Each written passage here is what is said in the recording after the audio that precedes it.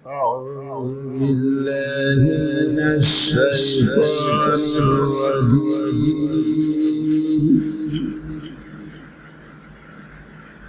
بسم الله الرحمن الرحيم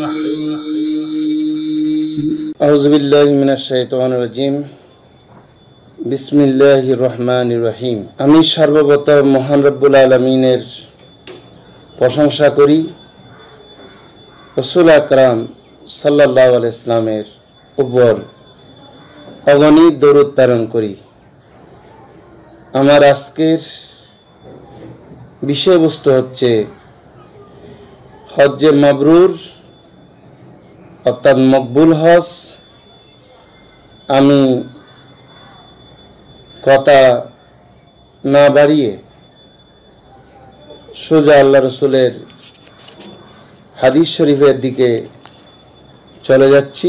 প্রখ্যাত সাহাবি, অধিক হাদিস বর্ণনাকারী হজরত আবু হুরাইরা রদি আল্লাহ তালাহ থেকে বর্ণিত এক ব্যক্তি রসুল আকরাম সাসলামকে জিজ্ঞাসা করলেন, কোন আমল সবচেয়ে বেশি উত্তম, বেশি ভালো? রসুল আকরাম সাসলাম তার উত্তরে বলেন আল ইমান ও বিল্লা আল্লাহর প্রতি বিশ্বাস স্থাপন করা, আল্লাহ এবং রসুলকে মনপ্রাণে ভালোবাসা। সুন্না মাজা তারপর জিজ্ঞাসা করলেন, এরপরে কোন আমল সবচেয়ে বেশি উত্তম? রসুল আকরাম সাসলাম বললেন আল জিহাদু ফি সাবিল্লা আল্লাহ রাস্তায় জিহাদ করা। সুম্মা মাজা তারপর কোনটি? তখন রসুল আকরাম সাল্লাম বললেন আলহাজুল মবরুর, তথা মকবুল হস আল হজুল মবরুরু লাইসালাহুল জাজাউ ইল্লাল জান্না হজ্জ মবরুর হচ্ছে তার বিনিময় হচ্ছে জান্নাত সারা আর কিছু নয়। হজ্জে মবরুর সম্পর্কে হাদিস বিশারতরা কি বলে? আমরা একটু হাদিস বিশারত তথা মহাদ্দিসিন একরামরা কি বলে আমরা একটু মনোযোগ দিয়ে শুনি। এক নাম্বার হচ্ছে ইমাম নবী রহমতুল্লাহ আলাই বলেন হজ্জে মবরুর সম্পর্কে ইমাম নবী রহমতুল্লাহ বলেন, হুয়াল হজ্জুল্লাজি লাখতালিত মাহুল ইসিম। হজ্জে মবরুর হচ্ছে এমন একটি হজ, যে হজের সাথে কোনো গুণযুক্ত হয় নাই গুণ মিলিত হয় নাই, তাকে বলা হয় হজ্জে মবরুর দুই নম্বর, ইবনে খালভিয়া রহমতুল্লাহ আলী বলেন, হুয়াল হাজুল মকবুল।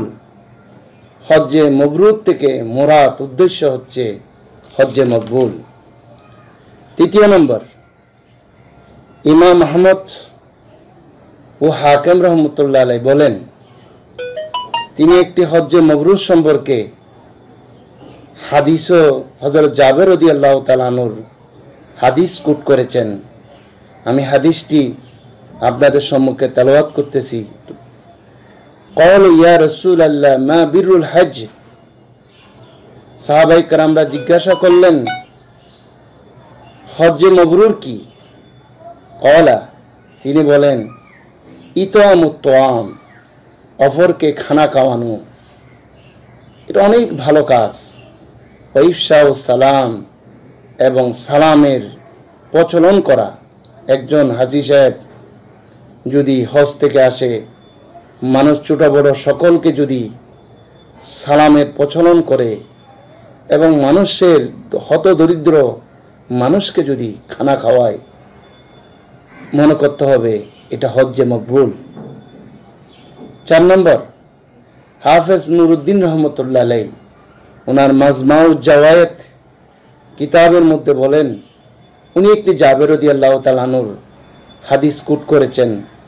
আন জাবির রদি আল্লাহ তালান কিলা নবী সাল্লাহ ইসলামা প্রখ্যাত সাহাবি হজরত জাবের আল্লাহ তালানহু জাবের মন্ডিত এবং নবী করিম সাল্লামকে জিজ্ঞাসা করা হলো, হজ্জে মবরুর কি?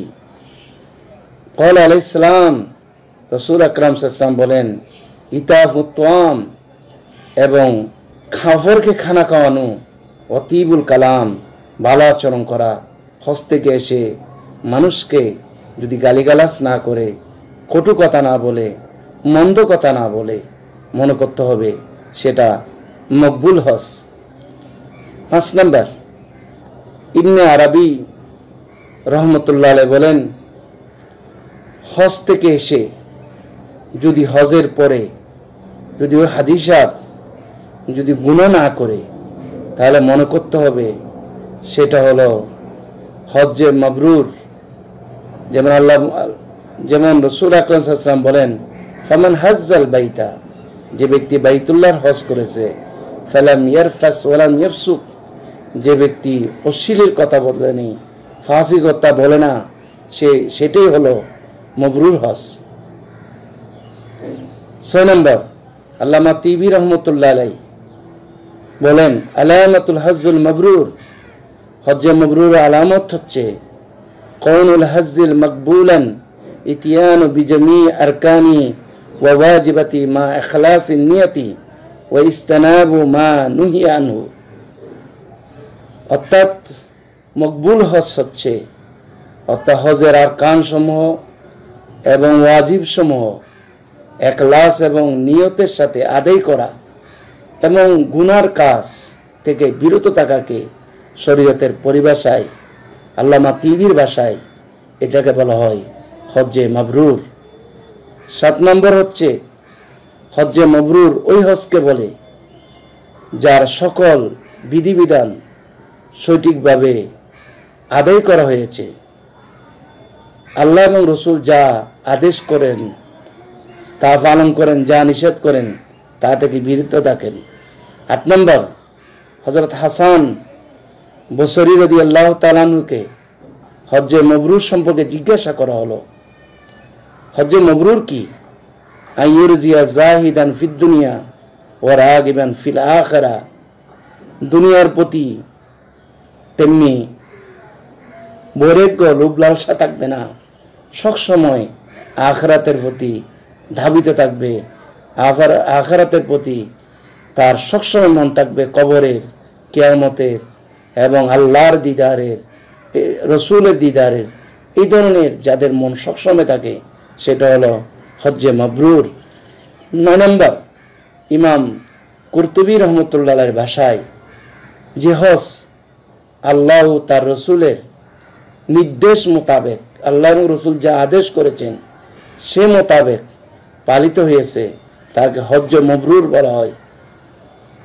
শাইখ আব্দুর রাফিয়ের মতে হজ পালনের পর যদি হজকারী নৈতিক অবস্থার যদি পরিবর্তন হয়, তখন তাকে হজ্জে মবরুর বলা হয়। আমি মহাদ্দেসিনী কারামদের দশটি হজ্জে মবরুর কথা বলেছি। আল্লাহ রাব্বুল আলমিন আমাদেরকে হজ্জে মবরুর করার তৌফিক দান করুন। যে ব্যক্তির হজ মকবুল হয়, সে যেন একজন মায়ের পেট থেকে শিশু ভূমিষ্ঠ হলে যে একেবারে নিষ্পাপ হয়ে যায়, যার হজ কবুল হয়েছে, সেই ধরনের সে কি হয়ে যায়? একেবারে নিষ্পাপ হয়ে যায়। কোরআন শরীফের একটি আয়াত দিয়ে আমার আলোচনা শেষ কর- শেষ করব। আল হজ্জ হাসুর মালুমাত হজ হচ্ছে নির্দিষ্ট মাসে, হজের মাস তিনটি সওয়াল জিলকত জিলকত। ফামান ফারাদা ফিহিন্না, অথবা যে ব্যক্তির হজ ফরস হয়েছে, ফালা রাফাসা ওয়ালা ফুসুকা, সে যেন ফাঁসে কি না করে। ফালা যেন অশ্লীল কথাবার্তা না হয়। ওয়ালা জিদালা ফিল হজ, এবং হজের মধ্যে কি না করে, ঝগড়া না করে। যেমনিভাবে হজের মধ্যে ঝগড়া করবে না ফাঁসে কি করবে না, অশ্লীল কথাবার্তা বলবে না, হজ থেকে ফিরে আসে যদি ঝগড়া না করে অশ্লীল কথাবার্তা না বলে ফাঁসে কি না করে যদি মানুষের সাথে নৈতিক আচরণ নম্রভাবে করে, মানুষের সাথে নম্রভাবে আচরণ করে, সবসময় মানুষকে আখারাতের কথা ফরকালের কথা এবং আল্লাহর বাইতুল্লাহর জিয়ারতের কি মজা সেটা মানুষকে বর্ণনা করে, সেটাই হলো মকবুল হজ। আল্লাহ রব্বুল আলমিন আমাদের সকলকে মকবুল হাস করার তৌফিক দান করুক। ও আখিরে দাওয়ান আনিল আলহামদুলিল্লাহ আলমিন।